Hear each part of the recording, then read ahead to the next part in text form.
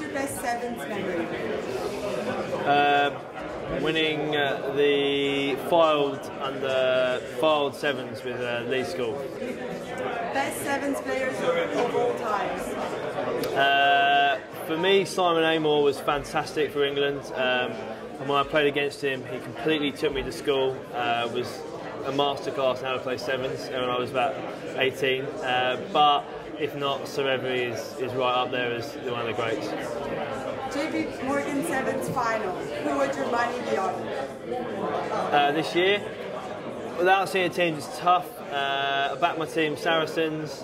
Which match are you most looking forward to in your group stage at Allianz Park? I think the, the Harlequins versus uh, Saracens game will be fantastic. There's a real rivalry between the clubs at the moment. They've got wonderful youngsters and they, they put a lot of pride into their sevens teams, as do Saracens. So it'll be a great game at the uh, Allianz Park.